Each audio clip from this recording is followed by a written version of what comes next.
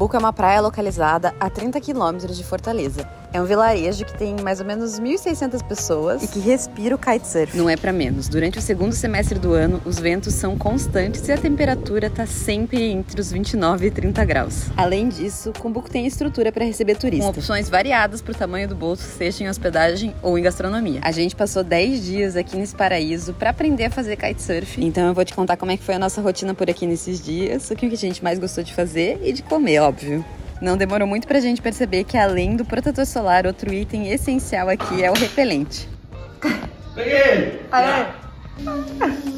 Vai ter mais 298 para matar hoje ainda. Logo que a gente chegou, fomos explorar o centrinho da cidade, que é uma rua em que ficam a maioria dos comércios e dos restaurantes. A gente foi no mercado e, apesar de pequenininho, o supermercado de Cumbuco tem de tudo, até leite vegetal. Para quem cozinha, outra parada obrigatória é a peixaria, que tem camarão, lagosta e peixe por preços super bons.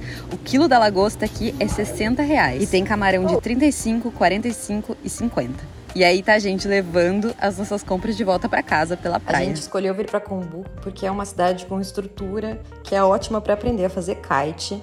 E esse era um dos objetivos, especialmente do meu marido, e eu também fui na onda. Então vou contar um pouquinho sobre as aulas. A nossa rotina por aqui girou muito em torno das aulas de kite. Os instrutores indicam que faça no mínimo cinco aulas e elas são cada uma de duas horas de duração, mas eu diria que pode botar umas 10 nessa conta aí se você realmente quer ficar bom no kite. O negócio não é fácil. Vou mostrar um pouquinho pra vocês como é que eram as aulas.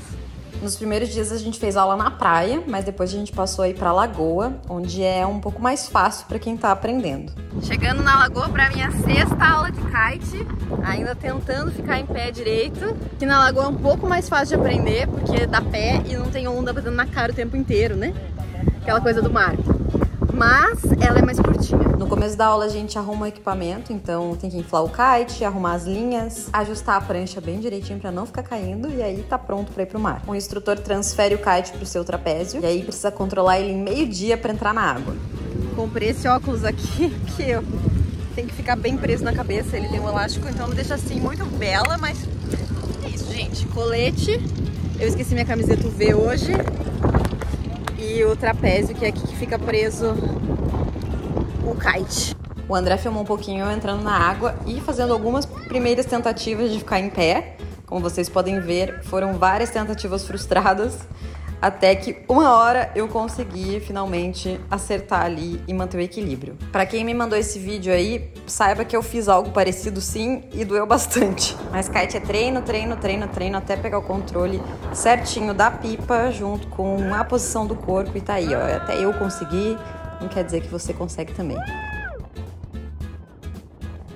Aliás, o meu único objetivo era não virar o Cássio. Vocês viram esse meme? Eu recebi ele bastante também. E aqui eu já tava mandando super bem. Mentira, esse aqui é o André fazendo. Ele, sim, fez mais algumas aulas que eu, mas ele mandou muito melhor, como vocês podem perceber. Ele até já ganhou alta do instrutor, diz que já pode fazer sozinho. O fim de tarde na lagoa é super legal. Inclusive, dá pra ir de bug até lá e só fazer o passeio caso você não queira fazer aula. E voltando da aula, esfomeados, a gente sempre parava no açaí para mandar um açaizão bem caprichado. Falando em comida, Cumbuco oferece opções para todos os paladares e também para todos os tamanhos de bolso. A maioria dos restaurantes e também as lojas ficam no centrinho, que na verdade é uma rua que começa a ter movimento lá pelas quatro da tarde. E é à noite que todo mundo vai para lá passear e também para comer, é lógico. Na rua mesmo você vai encontrar um monte de opções. Tem espetinho, tem pastel, milho, barracas de drink, inclusive com várias frutas nordestinas.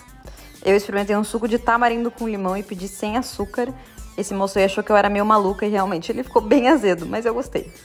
Me ofereci para um emprego, mas não rolou.